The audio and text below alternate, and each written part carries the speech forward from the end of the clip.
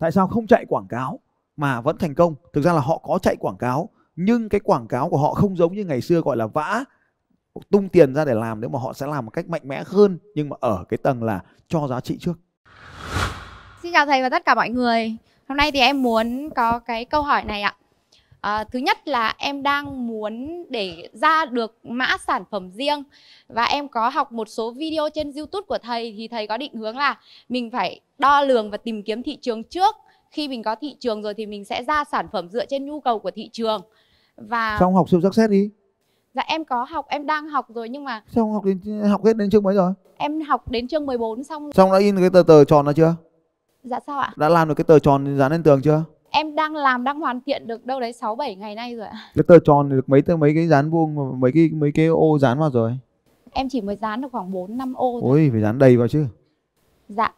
xong rồi mang cái tròn đấy xếp hạng nó lại xong từ cái xếp hạng đấy thì mới đi tìm cái để giải quyết cái cái cái tròn đấy thì gọi là cái vuông Dạ vâng. ừ, Em muốn câu hỏi số 2 ạ. ừ. Là bây giờ đầu tiên thì sẽ phải tìm thị trường thì em có phải là để mình sẽ tiến hành xây các kênh ví dụ như là TikTok không phải xây các kênh các kênh nó chỉ là cái là xây thị trường là ô số 1 còn các kênh nằm ô số 4 kênh tiếp cận. Dạ vâng ạ. Vậy thì ở cái ô số 4 là kênh tiếp cận khách hàng ấy ạ. thì khách hàng họ dùng cái gì ấy, thì mình xuất hiện ở đấy họ cái khái niệm rất đơn giản là họ dùng cái gì thì mình ở đấy Dạ.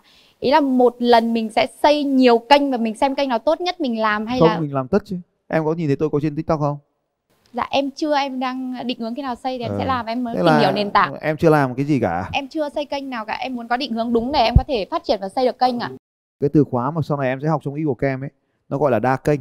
Tức là mình không bỏ bất kỳ kênh nào hết vì nó sẽ như thế này. Trên thực tiễn nó sẽ hoạt động nó sẽ chạy như này này. Là đầu tiên họ có thể nhìn thấy mình trên YouTube. Nhưng mà khi họ vào YouTube ấy thì họ sẽ ghé vào blog của mình. Vì mình sẽ làm thế nào đấy để họ ghé vào blog khi họ vào blog họ sẽ bị mình bắt giữ cookie và sau đó thì họ lên Facebook họ lại nhìn thấy mình. Sau ngày mai họ lên TikTok họ lại thấy mình. Xong họ mở bất kỳ trang báo nào ra họ cũng lại thấy mình. Họ cứ tưởng mình ở nhiều nơi nhưng mà thực ra là chỉ có một lần thôi và sau đó mình bắt giữ họ. Em mà ghé vào một trang nào của tôi là sau đấy cả cuộc đời em không bao giờ thoát khỏi tay tôi cả. Đúng rồi ạ. bàn tay như lai Vậy là mình sẽ đi theo đúng chiến lược là Ừ, mình nếu như bàn tay như lai mà có một ngón thì bắt được con gì không? Hai ngón thì bắt được con gì không? Đã không ạ. bàn tay thì bắt được còn nhiều con hơn đúng không? Vâng ạ. cho nên là có bao nhiêu ngón cũng được ấy mình phải là bạch tuộc tất cả các ngón. Tức nghĩa là người dùng đang dùng kênh gì thì mình sẽ bám bằng dính ở trên tất cả các kênh này. Chính vì thế mình phải cần có blog để đưa họ về để bắt họ. Vâng. mở y điện thoại ra xem có nhận được mail tôi ngày hôm nay không? Dạ em có ừ. đấy rồi gọi bắt rồi đấy. Tin nhắn có nhận được không Dạ em nhận được ở Gmail ạ. Đấy, cho em hỏi lại để em xem em đúng chưa nhá thầy. À, bây giờ mình sẽ tiến hành xây các kênh trước, đa kênh, sau đấy mình sẽ đo lường ở trên đấy và ra sản phẩm sau đúng không ạ? Và để được như thế thì em nên tham gia vào khóa học nào ạ? thực ra nó không phải là khóa học mà cũng không phải là xây kênh cái đầu tiên em cần làm là mình phải hình dung mà khách hàng của mình như nào thì thường thì khách hàng giống mình thế bây giờ bây giờ trả lời tất cả câu hỏi này thì thực ra em là ai em đang làm cái gì À, bản thân em thì đang là một nhà phân phối F1 cho công ty ạ. ờ. xong bây giờ muốn làm vì mình thành công nên mình muốn tách ra mình làm nhãn hàng riêng gì Đúng rồi ạ. làm về lĩnh vực gì Em làm về lĩnh vực sản phẩm à, chăm sóc da và chăm sóc cơ thể ạ. skin care Dạ vâng. ví dụ như ạ. là toner đúng rồi ạ, các sản phẩm dưỡng da, dưỡng ẩm chăm sóc tóc, cơ Tóc. thể ạ. nhưng mà lý do nào mà khiến em phải làm một nhãn hàng riêng Thực sự thì à, em rất là khao khát muốn có một thương hiệu riêng và phát triển thương hiệu cá nhân riêng của mình để em muốn trao những giá trị tốt đẹp đến cộng đồng ạ. ví dụ như này nhá bây giờ tôi mà bán thịt trâu ấy Vâng ạ. tôi thích bán thịt trâu nhá là chỉ 30 giây thôi là tôi chỉ gọi ông Thắng là ông tạo cho tôi một sản phẩm riêng ví dụ như là à, bình thường kênh của ông này đang bán là 50 ca- 500 gram bây giờ tôi muốn bán một cái sản phẩm là 100 gram thịt trâu 100 gram thịt lợn và tôi phải có cái ảnh hưởng rất lớn trên mạng xã hội, nên tôi gọi ông Thắng là, Thắng ơi, tạo cho anh một cái sản phẩm riêng. Lúc này thì nó chưa đóng gói được, nó chưa có bao bì, nhưng mà tôi cứ bán cái đã.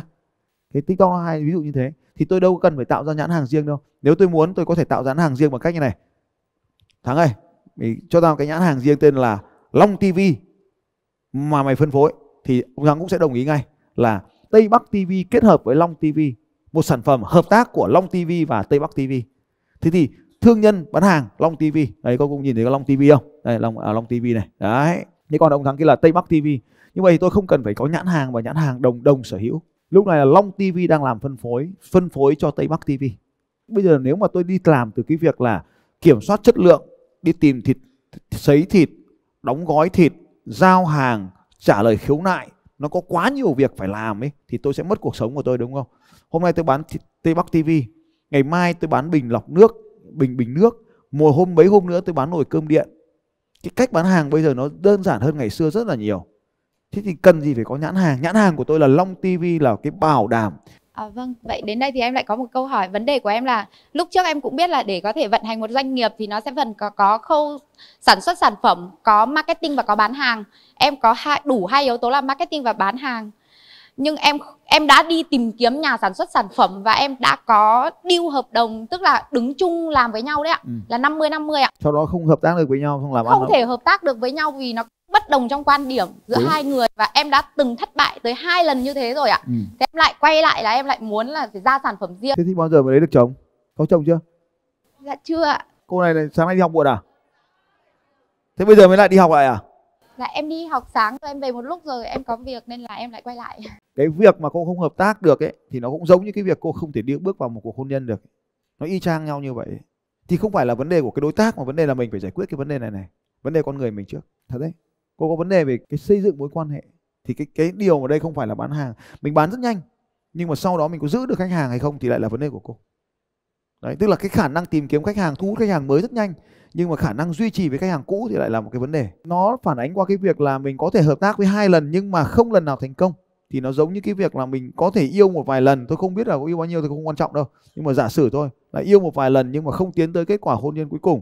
Hoặc là cái việc mà mình bán cho khách hàng rất nhiều rất nhiều khách hàng mới nhưng không quay được tỷ lệ, quay trở lại được mua hàng.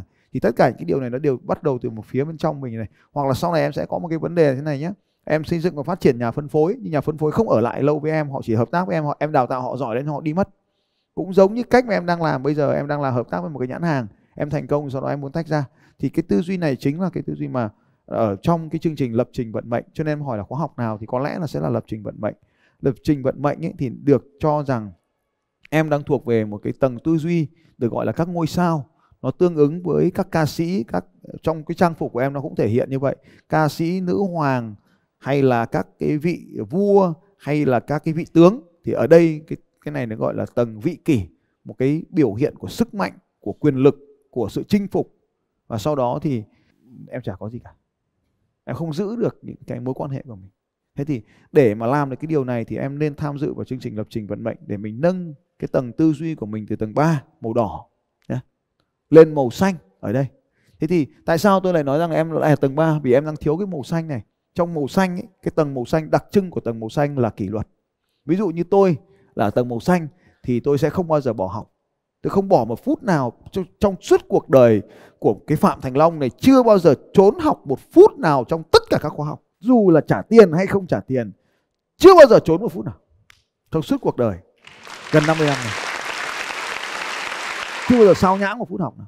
Thì nó ở tầng màu xanh này là tầng của kỷ luật. Thế thì em đang ở màu đỏ này. Em muốn xây dựng một đội nhóm em muốn phát triển một nhãn hàng. Trước khi em làm điều đó em phải ở tầng xanh này đã.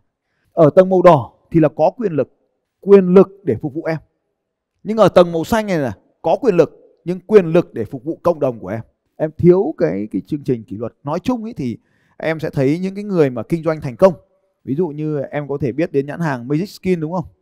Dạ em biết ạ. Ờ, em có thể biết đến uh, B1 đúng không? Dạ em biết ạ. Ờ, à, em biết đến Thúy Cami đúng không nhỉ? Dạ em biết ạ. Ờ, tất cả những người đấy họ đều gặp phải một đây, ở tại nhà tôi đây.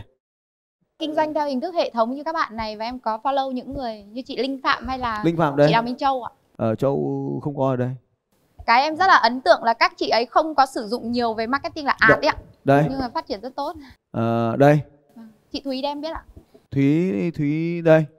Đấy thì những cái người này uh, họ thường xuyên ở nhà tôi và tất cả những gì tôi dạy họ ấy là đưa họ lên từ tầng 3 lên tầng 4 tầng 3 là bố mẹ nhất thì tầng 4 là chúng ta nhất. Tầng 3 đó là mình không chấp nhận bất kỳ thứ gì trừ bản thân mình mình là nhất trong cái thế giới riêng của mình.